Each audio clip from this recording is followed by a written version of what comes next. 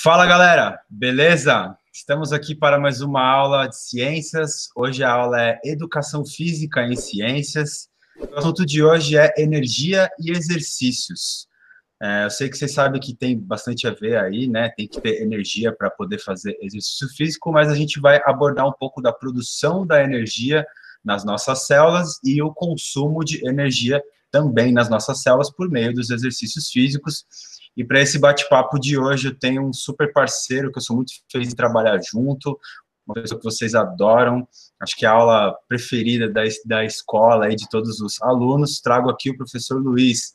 Luiz, seja bem-vindo, meu irmão. Ô, Vinícius, obrigado, cara. Ô, galera, tudo bem? É, então, a gente vai conversar um pouco, né? O que acontece no exercício com relação à produção de energia, né? Através de algumas vias aí né, ou sistemas, né, que acontecem aí no nosso corpo durante a atividade que a gente faça. Beleza?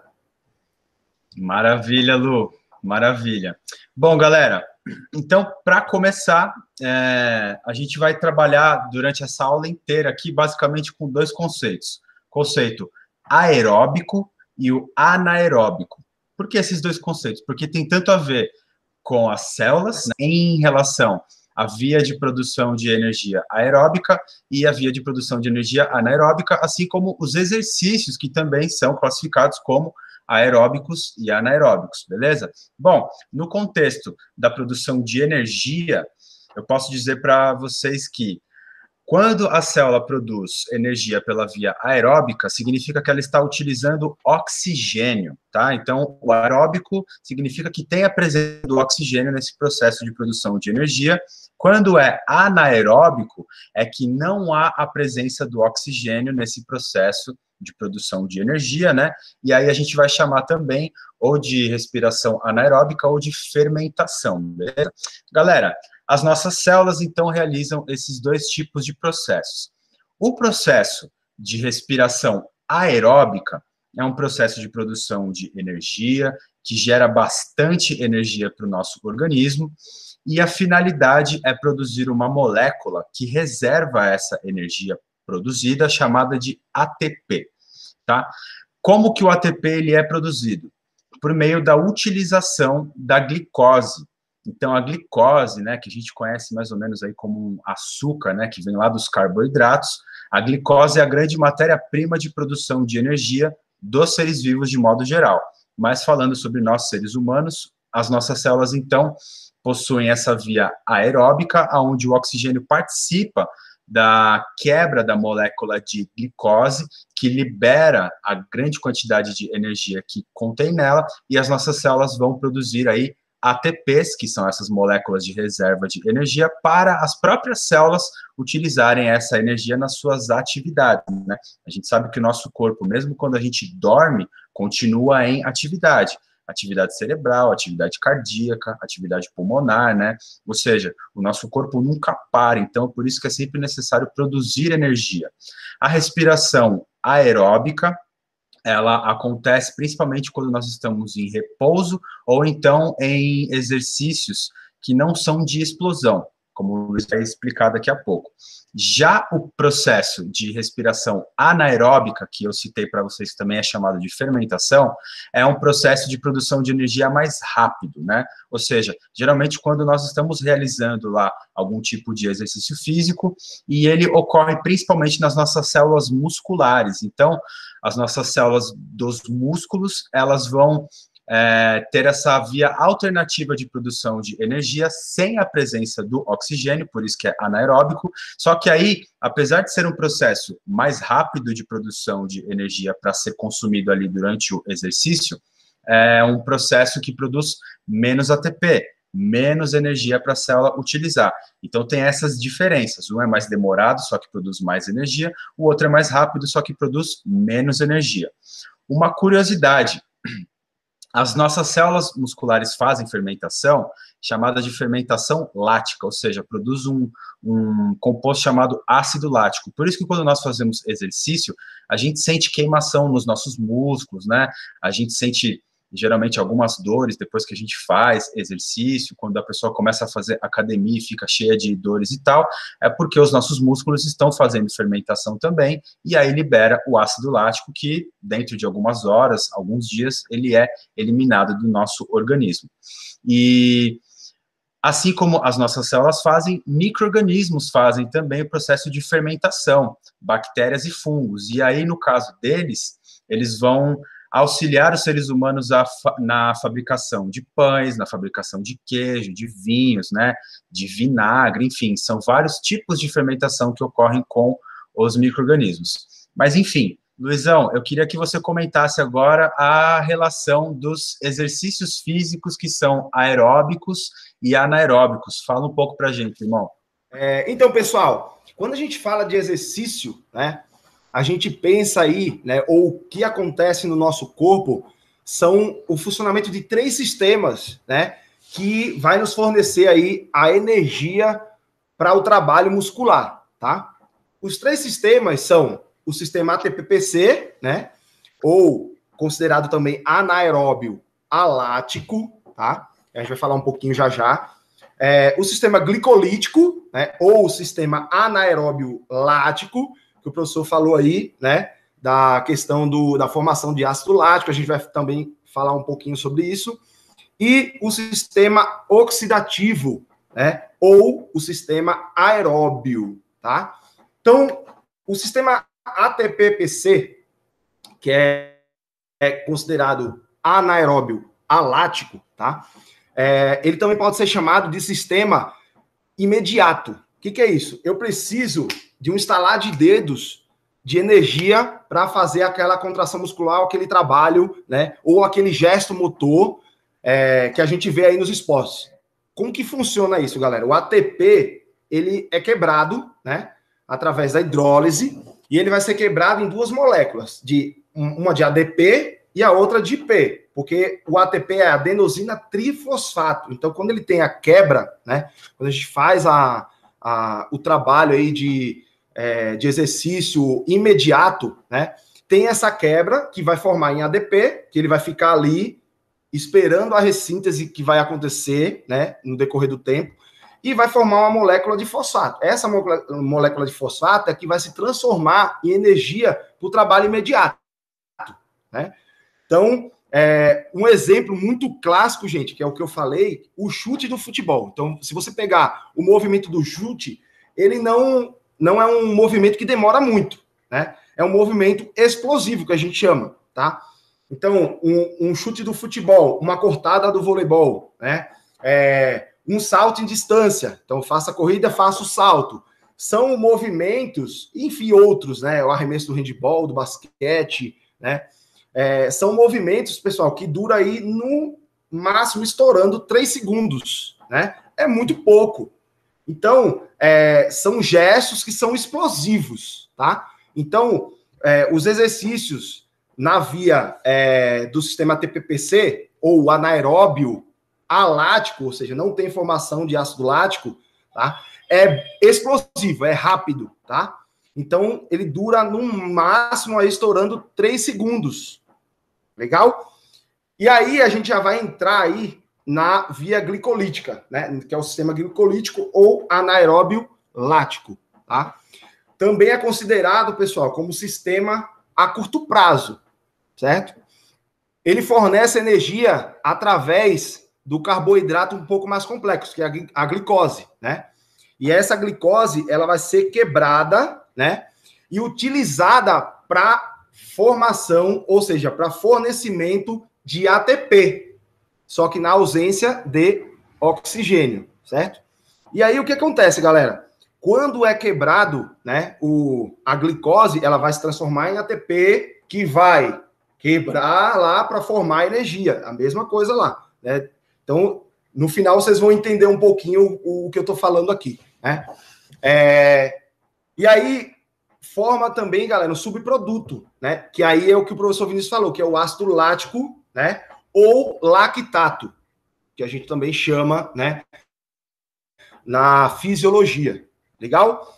É, há muito tempo atrás, pessoal, quando eu fazia faculdade, é, na graduação, isso aí vai em 2005, 2006, é, o lactato ele, ele, era considerado como um vilão, né? Por quê? Porque se achava né, que o lactato gerava fadiga muscular, e não é isso que acontece, né? Acontece, né, aqueles incômodos, né, aquela queimação que é normal, que é da fermentação aí, né, das células para o crescimento muscular, né? Isso é o lactato. Só que o lactato ele funciona como um tampão, né? A gente chama de tampão. Ele evita a fadiga, né? Mas ele também ajuda a fornecer energia para o corpo em moléculas de ATP, certo? Então, pessoal, é, esse tipo de atividade ele é considerada de alta intensidade e de duração moderada, tá? Então, por exemplo, dentro do, das modalidades esportivas aí, que a gente pode pegar, um, uma partida de futebol. Se você pegar uma, uma partida de futebol, você acha que o jogador que está lá dentro ele fica correndo em alta velocidade o tempo inteiro, os 90 minutos? Não. O que acontece dentro do esporte, gente?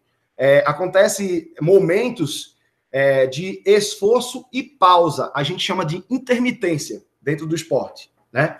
Então, é uma relação esforço e pausa muito grande. Então, eu vou fazer é, um esforço, vou dar um pique para pegar a bola no espaço vazio e efetuar um passe ou um chute, volto para o meu local. Aí eu não preciso voltar para o meu local na mesma velocidade. Eu volto dando um trote, ou eu volto, volto correndo de costas, né?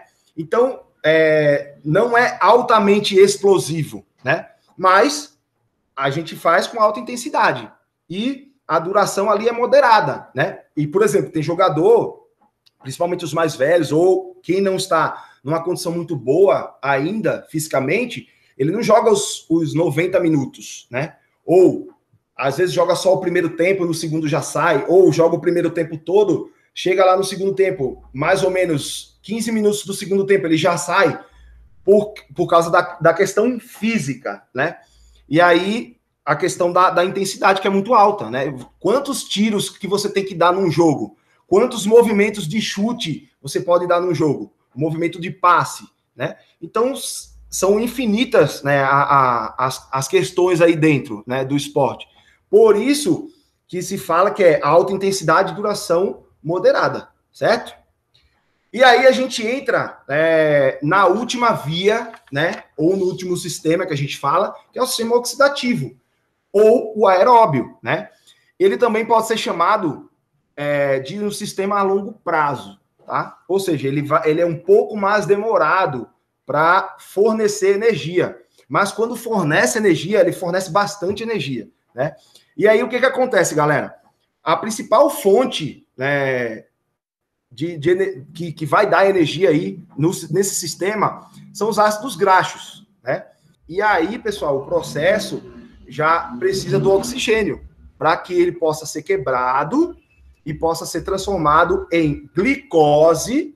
Ele vai ser quebrado, transformado em glicose, e da glicose vai ser quebrado para formar ATP e gerar energia para o corpo, tá? Então, galera, o que, que eu quero falar aqui? É, é, antes de eu, de, eu, de eu associar os três, deixa eu só falar um pouquinho de exercícios, né? Os exercícios nesse sistema, galera, é de longa duração e a intensidade moderada. Um exemplo muito básico: maratona. Uma maratona, galera, dura mais ou menos aí duas horas e 40 minutos. Isso eu tô chutando, tá? Duas horas e 40 minutos. Agora imagina você correr duas horas e 40 minutos numa intensidade alta. Não tem como, o corpo não aguenta, né? Então, é, a, a duração desse exercício é mais longa, tá? mas a intensidade ela tem que ser moderada, ela não pode ser explosiva, porque aí, o, aí é que vai acontecer a fadiga muscular. Aí o, o, eu, o meu corpo ele não vai conseguir gerar energia né, suficiente, e aí pode dar fadiga muscular, pode dar lesão, pode dar contratura muscular, um monte de outros fatores que impeça aí esse atleta de continuar. Então, é bem moderado. O que vai diferenciar os três sistemas e o funcionamento deles é a duração do exercício. Desde ser muito imediato, curto e longo. Moderado, longo, né? Então é isso que vai diferenciar aí é, os exercícios, certo? Maravilha, muito obrigado por essa aula incrível, explicações perfeitas, Lu. Bom, agora eu queria comentar um pouco sobre os vários benefícios é, que os exercícios físicos trazem, né? Só que eu não vou falar só do bem-estar e tal, isso daí eu vou deixar para o Luiz comentar já já. O que eu quero falar é a relação dos exercícios físicos com os hormônios. Será que tem algum tipo de relação? Galera, tem total. Os hormônios, eles são, digamos assim, mensageiros químicos do nosso organismo que fazem a comunicação entre células, entre órgãos e tal, e eles estimulam o funcionamento de órgãos no nosso corpo. Pois bem, quando nós realizamos exercícios físicos, existem benefícios em função da liberação de determinados hormônios que eu vou citar aqui, que são relacionados não só a um bom funcionamento do nosso organismo, né, mas também a qualidade psicológica do indivíduo que pratica o exercício. Sim, qualidade mental, galera. Então, olha o quão é importante.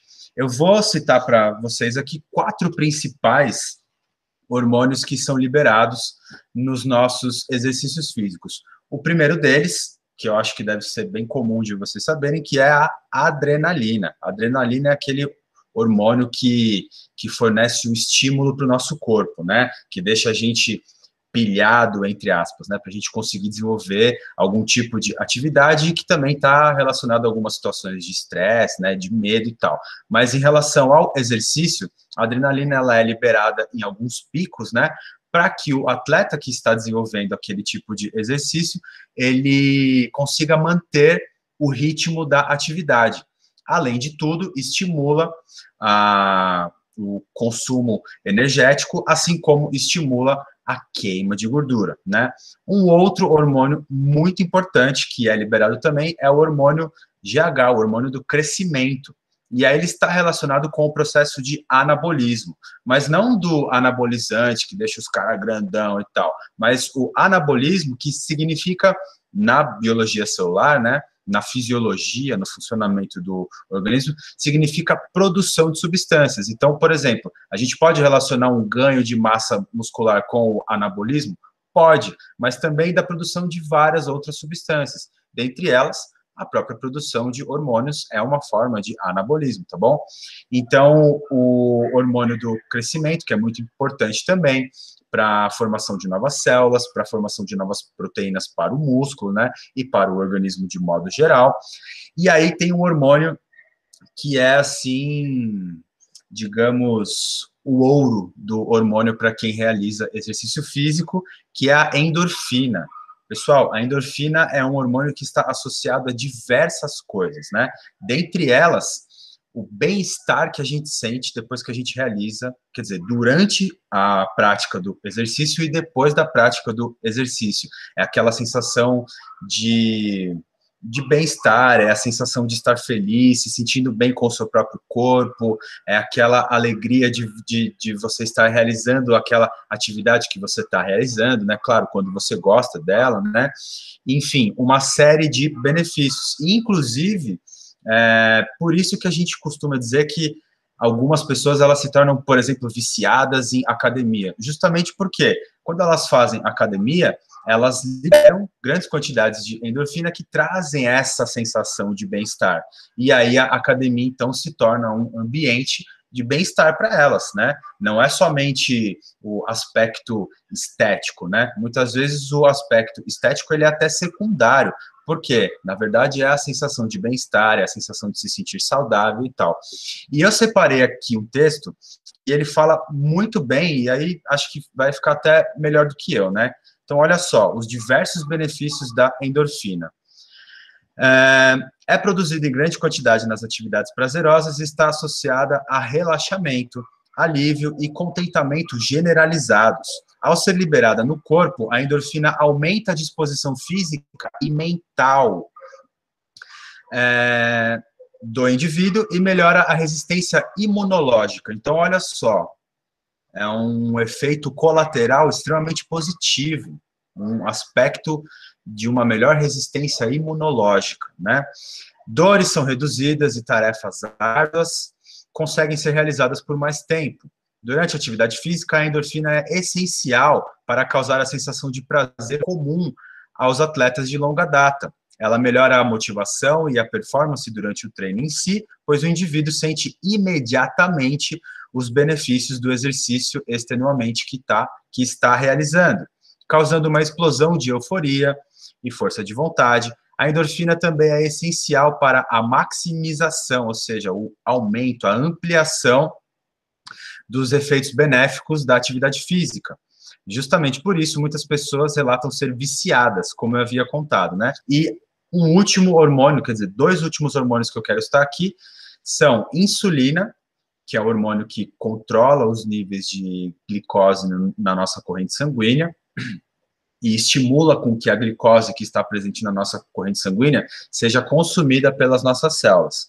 Então, tem esse aspecto e tem a liberação também do glucagon, que já é um hormônio que estimula o nosso corpo a consumir glicose caso essa glicose tenha sido é, queimada, ou seja, a repor as suas reservas de glicose para a produção de energia nas nossas células. Ou seja, exercícios físicos, do ponto de vista fisiológico do funcionamento do nosso organismo, são extremamente positivos, tanto para o aspecto físico do nosso organismo, o aspecto estético também, que a gente leva em conta, né? O corpo fica legal, a gente se sente bem, mas também os aspectos psicológicos, galera. Então, exercício físico é recomendado para qualquer pessoa, inclusive para pessoas que passam por processos de ansiedade, depressão, e outras coisas relacionadas aos aspectos negativos do nosso psicológico. Então é só coisa boa. E aí eu queria que o professor Luiz agora comentasse sobre os outros aspectos benéficos da prática de esportes e de exercícios físicos para as pessoas, para a sociedade, os grupos, as várias faixas etárias aí. Comenta um pouco para nós aí, Lu, por favor. Bom, pessoal, é, eu separei aqui, são inúmeros né, benefícios se eu tivesse que falar de todos aqui, a gente ia ficar o dia inteiro aqui falando, né? Mas eu separei alguns aqui que eu achei importantíssimos, né? É, o primeiro, pessoal, é aumentar, aumentar a disposição, né? Do nosso corpo, do nosso organismo. A nossa disposição em geral, né? É, nos faz acordar com muito mais disposição, mais descansados, né? Por conta, galera, do aumento da energia vindo da ressíntese, né? Porque o nosso corpo ele funciona é, como um, vai, uma máquina. Por exemplo, é, se você não usar essa máquina, ela vai se desgastar e vai quebrar, quebrar com o tempo, certo? Então, o nosso corpo é da mesma forma. Então, se a gente não tem, não é ativo, a gente é sedentário, é, essas, essa energia ela não é, não se reproduz, né? E aí acaba que a gente ficando com aquela sensação de, sabe, mal-estar, cansaço o tempo todo, sabe? É, passa o dia com sono, é, não tem disposição para nada, para fazer nenhum tipo de atividade, para estudar também, né? Então, é, um dos benefícios que eu julgo de bastante importância é essa questão do aumento da disposição, né? Um outro que que eu gosto muito também, né? Melhora a qualidade do sono, pessoal. Fazer atividade física melhora a qualidade do sono. Por causa do que o professor Vinícius falou, né? Aí, na fala dele lá atrás. Do, é, da serotonina. Serotonina é, é um hormônio que ele é liberado, né? E ele causa uma sensação de relaxamento, né? De bem-estar. E aí, é, a gente dorme melhor, a gente acorda melhor, né? E com mais disposição. Né? Então tá uma coisa ligada à outra aí.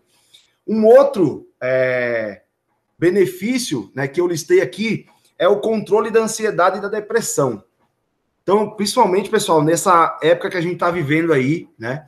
Eu acompanhei aí alguns, algumas reportagens de pessoas querendo, sabe, é, de se suicidar, sabe, de estar de, de tá em depressão profunda, porque é, não pode sair de casa, é, tinha uma rotina bem agitada, hoje não tem mais, né? E aí isso causa uma certa irritação, né? É, estresse, né? Que a gente também pode associar isso aí. E isso controla bem por conta também da serotonina, que nos traz esse, essa sensação de bem-estar, né? Com, com, conosco mesmo. É, um outro benefício que é importantíssimo, que é o controle do peso corporal né, e emagrecimento. Fazer exercício, estar em atividade, né? Entra lá naqueles sistemas que a gente falou lá atrás, vai ter a queima aí, né? Da gordura, né? Transformar essa gordura em energia, né? É, e emagrecer, você vai se sentir melhor. E aí tá ligado, pessoal, à autoestima, né? E um último que eu quero trazer aqui, que é a questão do social, pessoal. É importante em todas as idades, desde o menor até o mais idoso, né? É, a, a, essa, essa questão social é importante, né? Porque ninguém fica só, né? E eu vou dar um exemplo muito clássico aí. Eu trabalhei seis anos com hidroginástica, né? E no, no grupo de hidroginástica, a gente tem muita, muito idoso, né? E o que acontece, pessoal? Geralmente o idoso é sozinho. Às vezes o esposo ou é, a esposa faleceram e os filhos se casam e vão morar né, em, em, seus respectivos lares, e às vezes se torna sozinho, ele fica sozinho lá, não conversa com ninguém. O que acontece? Eles iam para a aula, para minha aula, eles faziam o exercício, obviamente, cada um no seu tempo, né? Tem um tempo certinho para cada um fazer. E eles ali eles conversavam, fazendo exercício e conversando. Então, a socialização, gente, é de extrema importância também. E o, o exercício ele traz isso para a gente, né? Como também, pessoal, nos tira aí, né, de algumas enrascadas da vida, né? Que é a violência, né, as drogas. Então, o esporte é de extrema importância, né, para o nosso convívio social também, ok? Maravilha, Lu. É isso mesmo, gente. O esporte é essencial, o esporte salva vidas, além de melhorar todas as condições fisiológicas aí, né, do funcionamento do nosso corpo, nos trazer bem-estar físico e psicológico, também salva muitas vidas, melhora muitas vidas em todas as comunidades, sejam elas quais forem, em todas as idades também, é muito importante. Lu, muito obrigado pela sua participação. Eu queria que você só se despedisse aqui para a gente poder encerrar essa aula, beleza? Obrigado, meu irmão. Foi um prazer estar com você aqui. A gente falar um pouco sobre células, produção de energia, exercícios, gasto de energia e qualidade de vida. Obrigado, irmão. Ô, Vini, eu que agradeço, cara. Para mim foi uma honra, né, participar junto com você aí, profissional de alta qualidade, né? Bater esse papo aí com a galera, né? E pessoal, queria dar um recadinho para vocês, né? É, já me despedindo é, sejam ativos, tá? Eu sempre converso aí, a, na maioria do, do, das minhas aulas aí, quando a gente finaliza, né, que eu vou dar o tchauzinho para vocês lá e tal, boa semana, aquela coisa toda, de é, quando a gente se torna mais ativo, aumenta a imunidade do nosso corpo, né? Então, todos os benefícios que a gente falou, aumentando aí a imunidade do nosso corpo, prevenção de doenças crônico-degenerativas, né? é, ajuda também no combate aí, pessoal, ao Covid também, né? Então, é, não é só se higienizar, mas é, se alimentar bem, né? E práticas de atividade física nos ajudam aí e aumentam ainda a imunidade do nosso corpo. É mais difícil a gente ficar doente. Beleza, professor Vini? Muito obrigado aí pela participação é, minha, né? Obrigadão pelo convite aí, eu fiquei muito feliz, né? Valeu. De nada, Lu. Tamo junto. Obrigado mais uma vez. E é isso aí, pessoal. Espero que vocês tenham gostado desse nosso encontro. Foi um prazer estar aqui conversando com o Lu, a gente falar sobre coisas tão importantes e interessantes também. Espero que vocês tenham curtido. E, galera, tenham todos aí um ótimo resto de semana. Se cuidem e até a nossa próxima aula. Valeu!